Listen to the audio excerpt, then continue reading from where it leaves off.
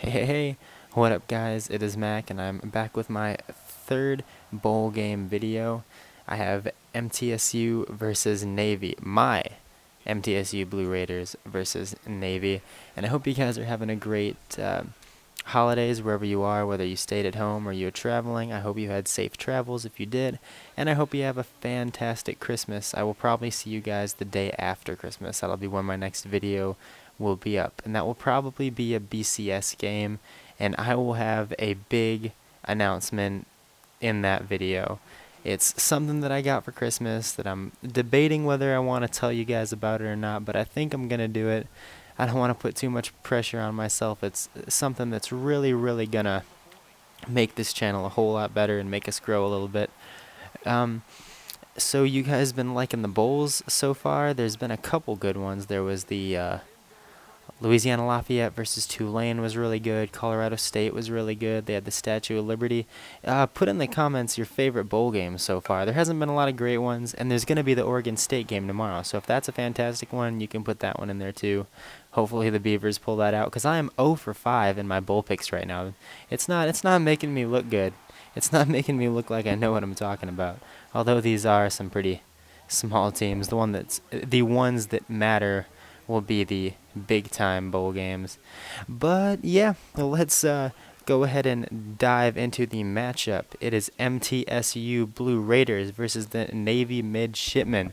And this is going to be an awesome game. I'll just tell you that right now. This is going to be fantastic. They both average over 30 points, and they're both coming in on a win streak.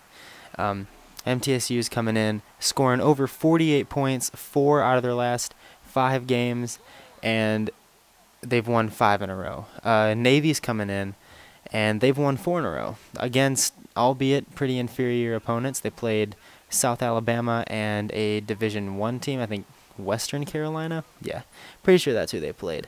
Anyways, Navy's only loss in their last six games was to Notre Dame, and Notre Dame's pretty good. Notre Dame is the only team that beat Michigan State this year, and I personally think Michigan State should be playing for a national title right now. But yeah, so their only loss in their last six was that. Um, everything for Navy goes through Keenan Reynolds. He's their quarterback. He's from Antioch, Tennessee, which is actually maybe 20, 25 minutes from where I live. Um, and yeah, he's he's a freaking beast. He's uh he's thrown for over a thousand, and he's ran for I think 12k. I mean, 12k, uh, 1200 right now, and he is a complete monster. That whole team goes through him. Um, if he plays great, then Navy plays great. If he plays mediocre, then Navy's not going to put up their points. But I think he'll play pretty good, and, and I think it'll be a pretty, pretty high-scoring game between these two teams. MTSU, on the other hand, as I said, they've scored 48 in their last four of five games, which is really, really freaking high. In one of them, they scored 58.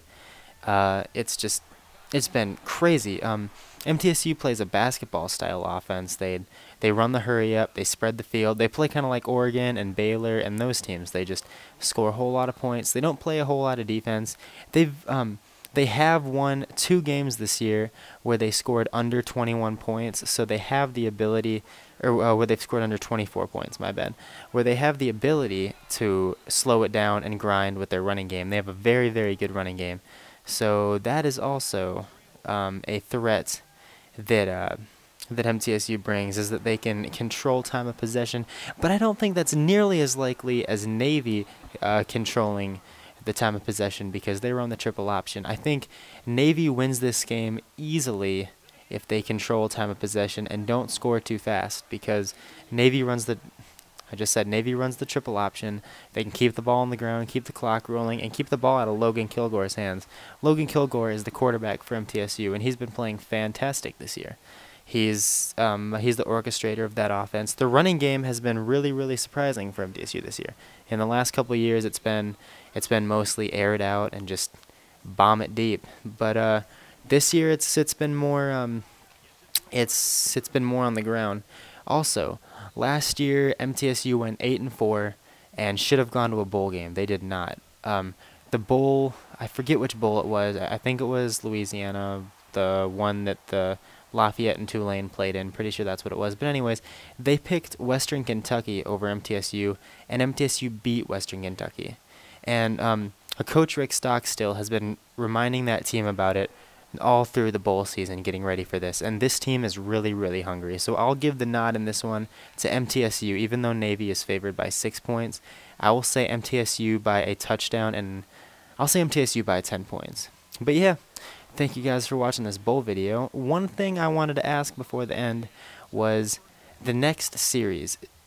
Uh, can you guys vote in the comments on which one you want me to see, uh, of which you want to see. Do you want to see a Road to Glory? Do you want to see a Dynasty? Uh, do you want to see ranked matches or do you want to see an Ultimate Team series? I can go through seasons. I've already started doing Ultimate Team stuff. But yeah, please tell me in the comments what you want. That'd be awesome. And I'll see you guys after Christmas.